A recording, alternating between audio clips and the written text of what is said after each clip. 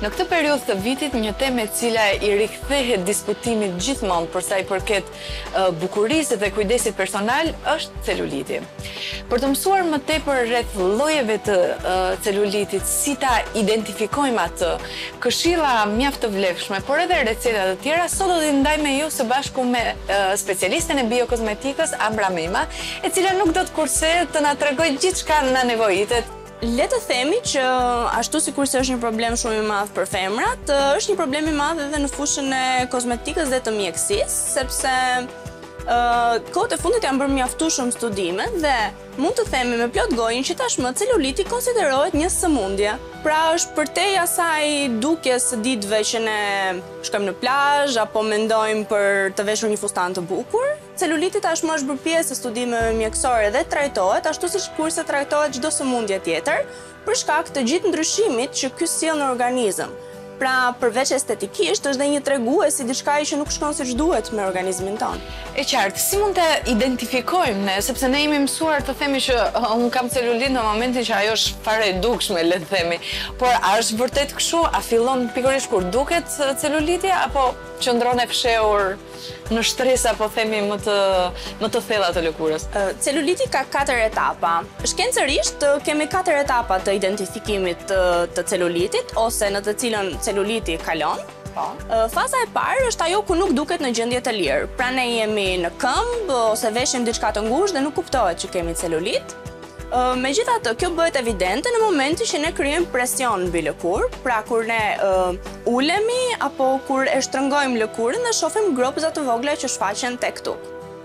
Faza e dytë është akoma më e thellë se kaq, sepse celuliti tani ka filluar të krijojë hije në lëkurën tonë edhe kur ne qëndrojmë në këmbë pa patur asnjë lloj presioni mbi lëkurë. Faza e tretë Është faza në të cilën celuliti duket jo vetëm kur ne jemi në këmbë, por dhe në momentin që jemi shtrirë.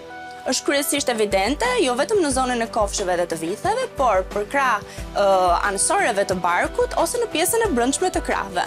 Faza e katërt dhe ajo më e rënda e celulitit është kur celuliti duket në të në çfarëdo lloj pozicioni që ne të jemi duke qëndruar dhe ka gropza shumë të thella, hije shumë të dukshme mbi lëkurë.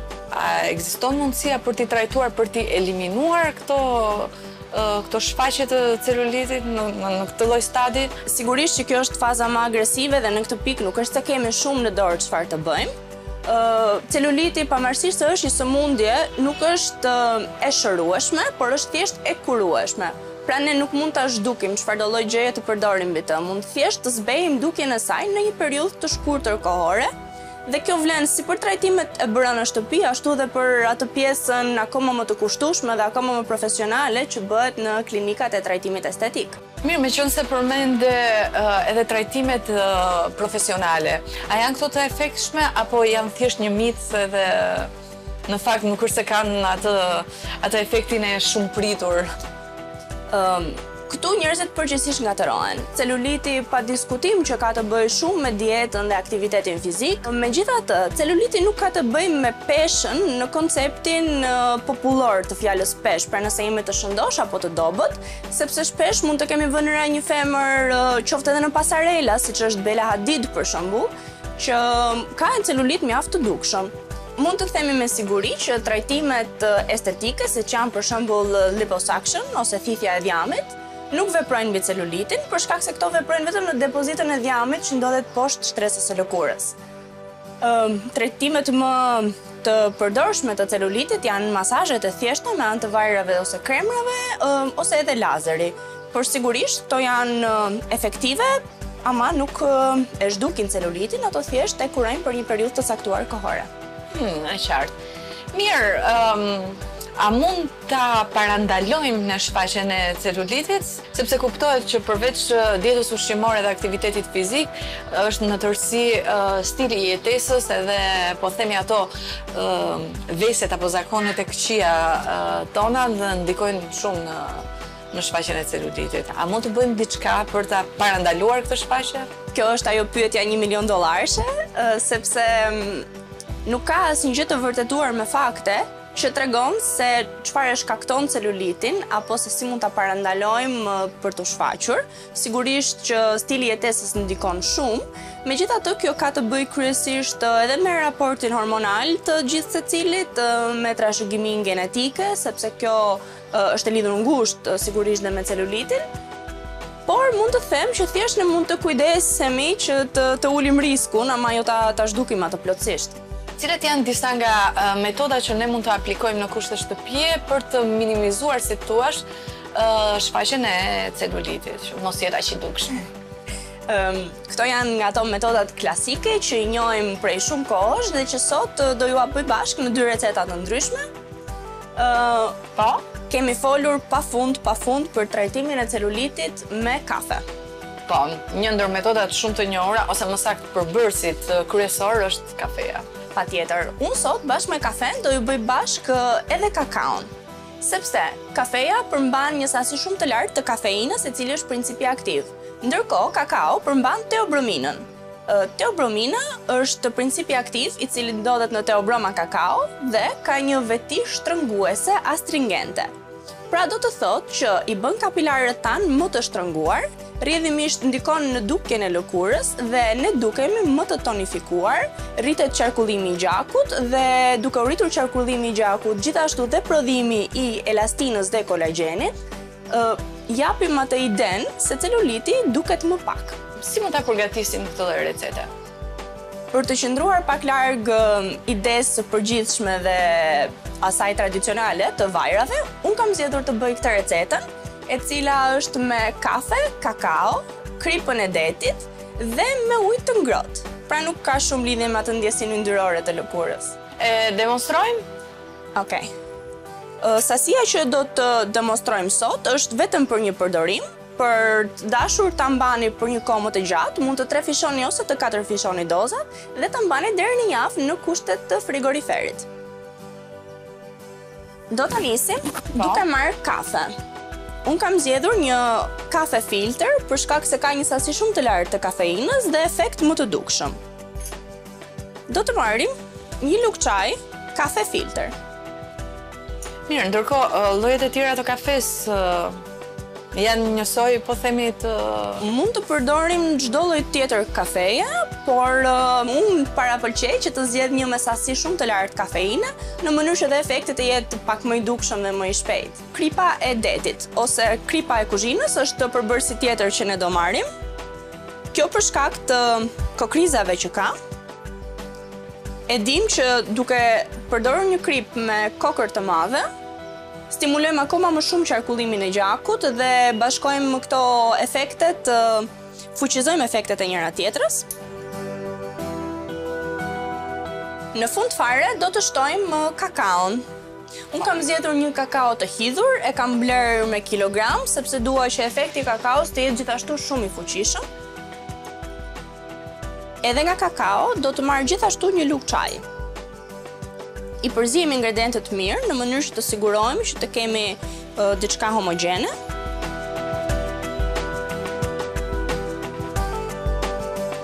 Në fund fare do i shtoj ujë të ngrohtë. Po. Por e theksoj ujë të ngrohtë dhe jo të nxehtë, sepse duam që të tresim kakaon, të formojmë një pastë mikse, por jo ta shpërbëjmë atë.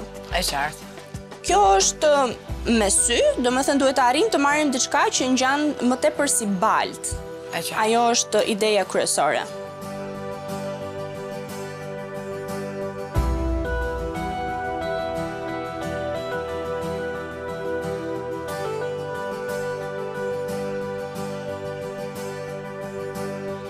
Dhe kështu përftuam atë që mua më pëlqen ta quaj maskën e parë anticelulit, Po. Është mirë të përdoret në lëkurë të thatë përpara dushit, e aplikojmë në zonën ku kemi celulitin, mund ta masazhojmë pak në formë rrethore që të stimulojmë qarkullimin e linfës dhe e mbajmë për disa minuta. Më pas unë këshilloj që të bëhet shpëlarja në ujë të ftohtë në mënyrë që të qëndrojnë përbërësit aktivë mbi lëkurë, të mos i pastrojmë të gjithë. Edhe sigurisht të nxisim qarkullimin e gjakut. Shumë mirë, një recetë mjaft e thjeshtë në fakt. Kafe, kakao, që janë dhe dy përbërës mjaft, po themi, afrodiziakë, sepse për sa i përket aromës dhe vetive të tyre, mjafton një maskë e thjeshtë, domethënë e tillë, dhe do na ndihmojë kjo realisht që, po themi, ta reduktojmë disi celulitin.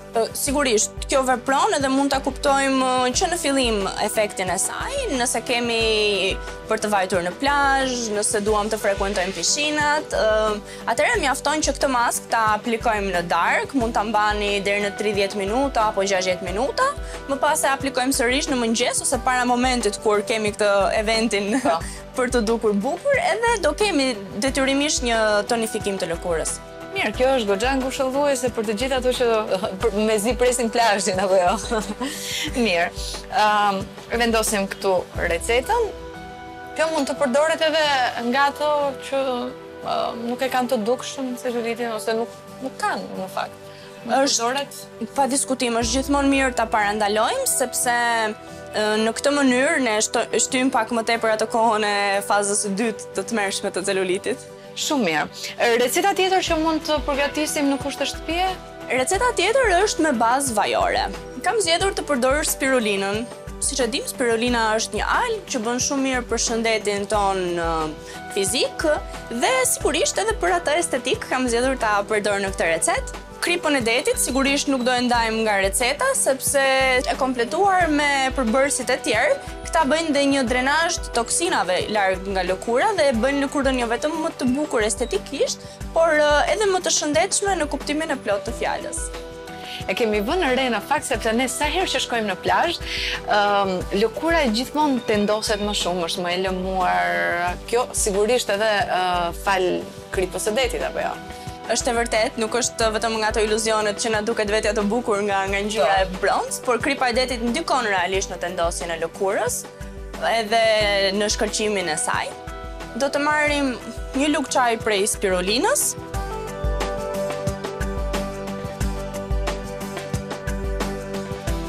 Do ta bashkojmë me një lugë çaji të kripës.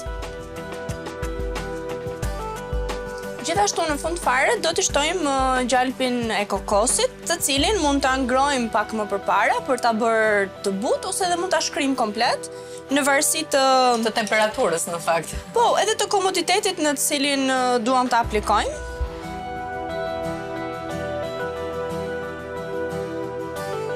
Dhe kjo ishte e gjitha. Përftuam këtë maskën që Nuk ka një pamje aq të bukur, megjithatë efektin e ka shumë të fuqishëm. E kjo ka rëndësi në fund të fundit, po. Mund të kemi përftuar diçka më të lëngshme se kaq, ndoshta edhe vajore, kjo është në varësi të temperaturës në të cilën ne kemi vajin e kokosit ose gjithashtu mund të përdorim vaj ullirin apo siç thamë edhe vajin e algave. Ideja e përgjithshme është që gjithë produktet të përzihen mirë. Pastaj çdo gjë tjetër vepron njësoj mbi lëkurë. Kjo kam përshtypjen përdoret në lëkurë të njomë apo duke pasur parasysh përmbajtjen vajore apo nuk ka rëndësi? Jo, nuk ka rëndësi, unë këshilloj pas dushit, lëkura të jetë e tharë mirë me peshqir dhe e pastër nga gjithë papastërtitë e ditës. Nëse keni mundësi, këshilloj gjithashtu shtimin në këtë maske edhe të vajrave esenciale, kryesisht të agrumeve, të portokallit, të limonit, të qitros akoma më mirë dhe në fund fare fare fare, po. mund ta mbajmë edhe tërë natën. E aplikojmë në zonat e prekura nga celuliti, E mbështjellim me një qese të tejdukshme kuzhine dhe mund të flemë me të tërë natën në mënyrë që në mëngjes efekti të jetë goxha më i fuqishëm edhe goxha më i dukshëm. E në fakt e kisha këtë dyshim, po si mund ta mbajmë tërë natën një maskë të tillë? Pra ato pelikulat e kuzhinës hyjnë gjithmonë në punë edhe për po themi këto truket e vogla të kujdesit vetjak. Shumë mirë. Edhe kjo një maskë mjaft mjaft praktike për t'u realizuar edhe për t'u aplikuar. Sa shpesh mund ta përdorim këtë lloj maske? Maskat kundër celulitit, sigurisht si çdo gjë tjetër duhen provuar në lëkurë, sepse mund të japin irritime, mund të japin alergji dhe kur të jeni siguruar që jeni komplet të lirë nga këto probleme anësore, mund ta përdorni çdo ditë pa problem. Përveç maskave, çfarë mund të përgatisim tjetër që mund t'ia shtojmë po themi rutinës tonë për sa i përket trajtimit të celulitit? Një tjetër alternativë shumë efikase është vaji i masazhit anticelulit. Është nga ato tipikët që përdoren edhe në qendra estetike dhe e bukura e kësaj është që mund ta përdorni përpara palestrës ose pas palestrës për të nxitur tretjen e dhjamit edhe për të nxitur atë shpërbërjen e celulitit. Unë kam zgjedhur të përdor vajin e bajames, i cili e ushqen lëkurën edhe e hidraton atë. Po. Mund të përdorim vajin e ullirit dhe një përzierje pastaj të vajrave esencialë me paprikën, atë specin e kuq dhe shumë djegës. Ne kemi zgjedhur të përdorim këtë shishen e tejdukshme për shkak se është pak më kollaj për aplikimin. Megjithatë unë do sugjeroja që Edhe për ta treguar më mirë. Po. Të përdorim një shishe të errët, amber që quhen, Sepse në këtë mënyrë i shtojmë jetëgjatësinë vajit tonë, duke bërë që ta ruajmë nga dëmtimi i rrezeve të diellit. E qartë. Në shishe do të përziejmë rreth 30 mililitra të vajit të bajames.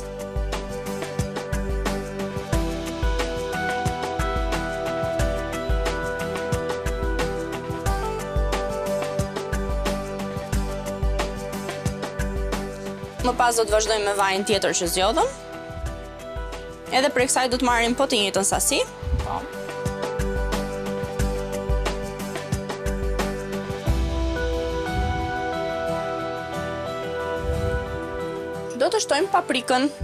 Në vend të paprikës mund të përdorni një spec që nuk është po kaq shumë djegës, për shkak se është e rëndësishme të ruajmë lëkurën. Ne duhet të dimë se ku i kemi limitet tona dhe çfarë është pozitive për ne, pa dashur të krijojmë një reaksion të padëshiruar më vonë.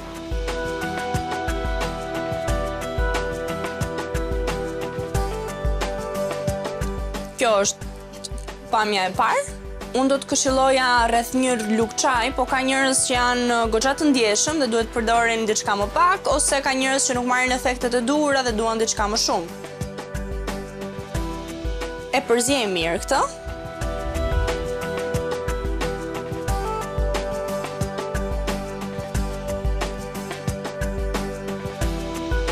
Pasi kemi bërë një përzierje të shpejtë, Këshilloj që sipër të shtojmë vajra esencialë.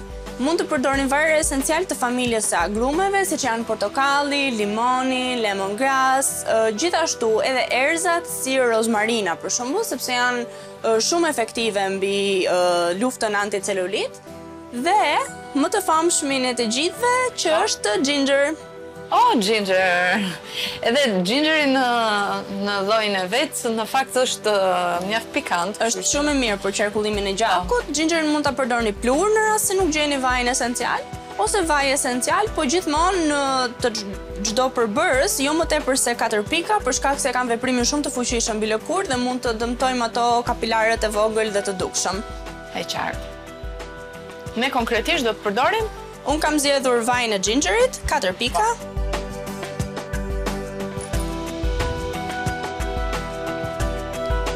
Vajin e portokallit.